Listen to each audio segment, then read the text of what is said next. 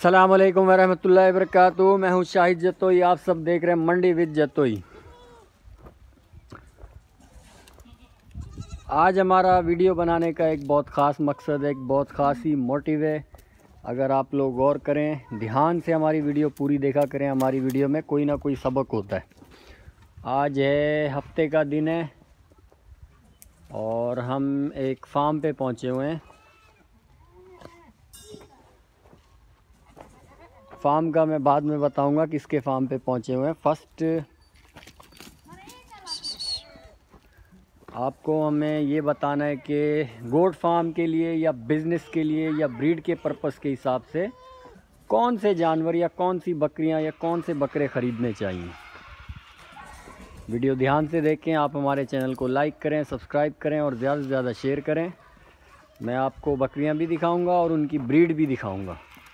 और डिटेल से समझाऊँगा, पूरी वीडियो ध्यान से देखें।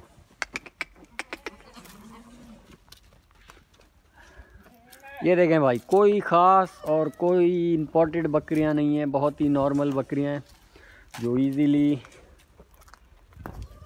ख़रीदी गई हैं। दस हज़ार से लेकर तीस हज़ार की रेंज में ख़रीदी गई हैं, जिसमें कुछ राजनपुरी भी हैं एंड कुछ अबलग भी हैं, कुछ पट्ठे हैं, कुछ पट्ठे हैं। और कुछ पेट से थी फार्म जब शुरू किया जाता है तो फार्म शुरू करने के लिए आपको बकरियाँ, जिसको उर्दू ज़बान में कहा जाता है, थकी हुई बकरियाँ ख़रीदो। थकी हुई से मुराद, हड्डियाँ, बज़ाहिर उनकी हड्डियाँ होनी चाहिए। वो आपको एक तो इजीली मिल जाएँगी और दूसरा बहुत ज़्यादा तादाद में मिल जाएँगी।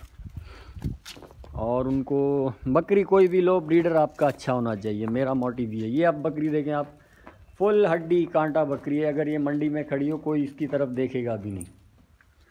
लेकिन कहने का मकसद यही है भाई, इन बकरियों पे आप मेहनत करो। अगर ये बकरियाँ उठ सकती हैं तो आप अच्छी बकरियाँ भी रख लोगे। आप लेकर ही अच्छी बकरियाँ जाते हो, जो आपसे संभलती नहीं हो इस कंडीशन में आ जाती हैं। तो फार्म खोलना एक बहुत बड़ा चैलेंज है। फार्म के बाद जो चैलेंज फेस करने पड़ते हैं, उनमें से ये एक चैलेंज है, गिरी हुई बकरी को उठाना। उसमें हम वंडा देते हैं इनको। वनडे के बाद सप्लीमेंट दिए जाते हैं डीसीपी पाउडर दिया जाता है मिक्सचर दिए जाते हैं। हर हर हर तरीके से हम लोग इनको उठाने की कोशिश करते हैं। अगर नहीं उठती तो फिर हम उनको सेल आउट करते हैं। और ये सारा माल नॉट फॉर सेल है, ये देखें आप। ये वाली अबलग लाल वाली, कोई ख़ास बकरी नहीं है। अब मैं आपको इनकी ब्रीड दिखाता हूँ इन बकरियों की। एक ये जा रहा है बच्चा, और एक ये है अबलग, और एक ये है, एक और ये वाला है, और तीन ये खड़े हुए हैं। ये देखिए ब्रीड बहुत ज़बरदस्त आई है क्योंकि इनके पास ब्रीडर बहुत अच्छे हैं। ये देखें आप। टेडी देखें और टेडी की टेडी का बच्चा देखें आप। फुल गुलाबी बच्चा है, खड़े कानों के साथ, बड़ी बेहतरीन चीज़ है। ये कोई ख़ास बकरी नहीं है इजीली दस बारह हज़ार की मिल जाती है। और इसका बेबी देखें आप। ये बहुत तेज़ है, हाथ नहीं आता, हाथ में नहीं आता, बहुत ही तेज़ फुर्तीला होता है ये। और ब्रीडर ब्रीडर आप अच्छे से अच्छा ख़रीदें। ब्रीडर जितना अच्छा होगा, उतना बेहतरीन आपकी ब्रीड आएगी, उतनी बेहतरीन आपकी बकरियाँ होंगी। ये देखें, कोई ख़ास नहीं है, सिर्फ़ देसी है ये। ये देखें। ये देखें। एंड ये है, ये देखें।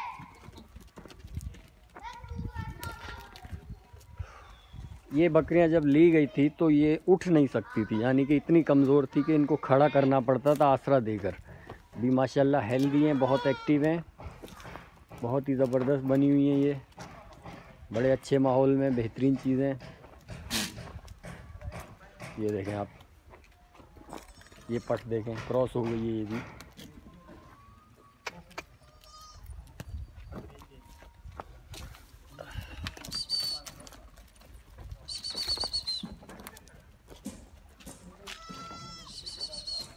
ये 300 बकरियों का शेड है और ये तीन शेड हैं 300 बकरियों के तीन 300 300 बकरे 300 बकरियाँ और तीन सॉरी पचास बछड़े। इन्होंने जो शेड बनाया ये बहुत अच्छी ब्रीड इकट्ठी करना चाह रहे हैं, ये अपनी ब्रीड इकट्ठी करना चाह रहे हैं। अब इनको क्रॉस करवाएँगे और इनके बच्चे ये स्टॉक करना शुरू कर देंगे, यानी कि फिर इनके पास एक अपनी ब्रीड आ जाएगी। फार्म खोलते हैं, कुछ जो अच्छी अच्छी मोटी तगड़ी बकरियाँ लेकर आते हैं। ऐसी बकरियाँ होती हैं। ऐसी बकरियाँ मिलती हैं, ये जो चैनलों वाले, फार्मों वाले सेल कर रहे होते हैं, ऐसी होती हैं ये राजनपुरी लोअर ब्रीड में ये। अभी तक के एक भी यहाँ पे खालिश किंग साइज़ की राजनपुरी नहीं है इसमें कोई भी। अंडर एज हैं या लोअर हैं। ये दो तीन सुबह के बाद इनकी कंडीशन यही हो जाती है ये। कोई धुली धुलाई नहीं है, फुल जिस माहौल में रखी हुई है, बस खुले शेड में रखी हुई है बस। इसका देखभाल अच्छी कर रहे हैं। Time to time feed time to time चारा time to time DCP time to time वंडा।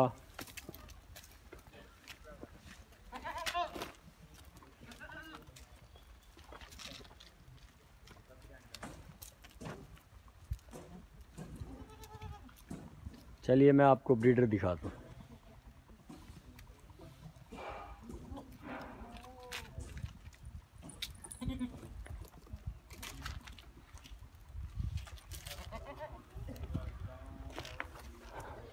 अभी ये साइड तैयार हो रही है, अभी हुई नहीं।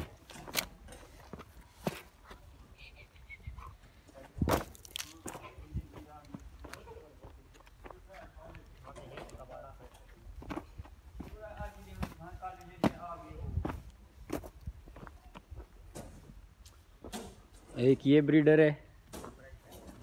फुल नागरा बीतल है, नागरा। खालिश प्योर नागरा बीतल है ये। ये।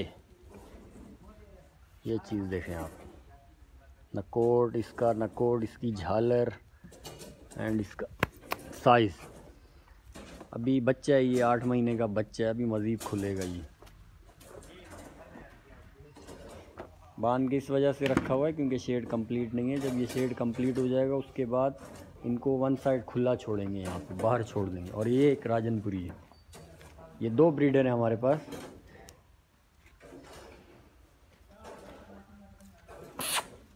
ये चीज़ ये चीज़। नकोट, इसकी झालर, ये बड़ी बेहतरीन चीज़ है, माशाल्लाह, अच्छी हाइट में, अच्छी दुम में। ये किंग साइज़ है। ये किंग साइज़ है, राजनपुरी में किंग साइज़ है ये, यानी कि बड़ा साइज़ है। ये भी आठ महीने का है। बहुत अच्छी ब्रीड है ये भी। इसके बच्चे बहुत प्यारे आते हैं। मैंने प्रीवियस वीडियो में आप लोगों को दिखाया था। ये बाँध के इसलिए रखे हुए हैं कि ये लड़ते हैं आपस में दोनों। ये देखें, चीज़ देखें खाली आप। कोई धुला हुआ माल नहीं है भाई। नॉट फॉर सेल है दैट्स वाई ये धो धुला के नहीं रखते। कटिंग कुटिंग कोई कटिंग कुटिंग नहीं है। बड़ी बड़ी हेयर है इसकी। और मैला है, फुल, धुला हुआ नहीं है। धो नहलाने की ये वजह यार, एक तो सर्दी बहुत है, दूसरा बकरे ठंडे पड़ जाते हैं, ब्रीड नहीं करते। बकरियों को क्रॉस नहीं करते ये। और यही वजह है जिसकी वजह से अभी गंदे खड़े हुए हैं, कोई इनका हाल नहीं है। और देखें आप इसके हेयर देखें, अभी कटिंग कुटिंग भी कोई नहीं कराई, जैसा था, जैसा है, वैसा ही खड़ा हुआ है। बड़ी बेहतरीन चीज़ है, माशाल्लाह, बहुत ज़बरदस्त चीज़ है। आप हमारी वीडियोस को लाइक करें, सब्सक्राइब करें, ज़्यादा से ज़्यादा शेयर करें। ब्रीड भी मैंने आपको दिखा दी और माल भी आपको मैंने दिखा दिया। फ़र्स्ट गोड फार्म के लिए फ़र्स्ट आपको ख़रीदनी है भाई। हसब तोफ़ीक, ज़रूरी नहीं है आपने सौ बकरी ले ली, ज़रूरी नहीं है आपने पाँच सौ बकरी ले ली। आप सिर्फ़ हसब तोफ़ीक लें, आप पाँच लें या दस लें, जितनी आप संभाल सकते हैं। दो टाइम चारा रखें, सुबह, शाम। एक टाइम ग्रीन रखें, एक टाइम ड्राई रखें। और दिन में बारह से एक बजे के टाइम आप इसको वंडा दे सकते हैं, दलिया दे सकते हैं, चावल दे सकते हैं। गंदुम सख्ती से मना है गंदुम सख्ती से मना है एक मुट्ठी से ज़्यादा गंदुम मत दें। दलिया दे रहे हैं तो दलिया दें, आप इसको मिक्स करके दें, डायरेक्ट मत दें। मिक्स करके मुला मुराद ये है कि भाई आप उसको भूसी में मिक्स करें या वनडे में मिक्स करें। ये देखें, आप इनकी मैं आपको फ़ीड दिखाता हूँ। अभी ये खा रहा था गिरा दी इसने।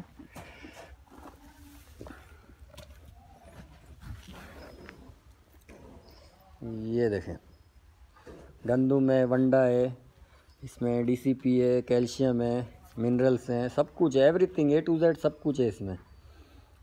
ये पर बकरी को एक के जी हम लोग खिलाते हैं, हमारा अपना वंडा होता है, हम खुद बनाते हैं। और इन मैं आपको डे टू डे इनकी अपडेट देता रहूँगा, जब ये फुल हरी भरी हो जाएँगी। और ये सारी बकरियाँ क्रॉस हो चुकी हैं, बड़ी बेहतरीन चीज़ें। और ये वंडा हम बनाते हैं, ये एक तो क्रॉस होने में इजी होती है, बकरियों को जल्दी क्रॉस हो जाती हैं, दूसरा। तो हम बात कर रहे थे गोड फार्म की। आप दस बकरियाँ डालें, उसमें एक ब्रीडर डालें, अच्छे से अच्छा। मैं ये नहीं कहता कि आप सिर्फ़ ब्रीडर डालें, अच्छे से अच्छा ब्रीडर डालें। अच्छे से मुराद ये होती है, चालीस हज़ार का बकरा मिल रहा है, आप वही बकरा साठ, सत्तर हज़ार वाला ख़रीदें, लेकिन हाई फाई होना चाहिए। ऐसे नहीं, पैसे ज़्यादा भर के आ गए। झालर होना चाहिए, नकोड़ा होना चाहिए, और उसकी लेंथ होनी चाहिए, लंबी दुम में होना चाहिए, बारीक पीसी में। बारीक पीसी से मुराद, उसके जो बाल होते हैं, वो बारीक होने चाहिए। और ब्रीडर आप फार्म के अंदर, शेड के अंदर मत छोड़ें। एक घंटा सुबह छोड़ें, एक घंटा शाम को। चारे की टाइमिंग सुबह चार बजे से रखें आप। सूरज निकलने से पहले या पाँच बजे रखें, खुरलियों में चारा होना चाहिए। उसके बाद जितना ज़्यादा उनको टाइम मिलेगा, जल्दी चारा मिलेगा और जुगाली का टाइम मिलेगा, उतना जल्दी उनकी सेहत अच्छी बनेगी।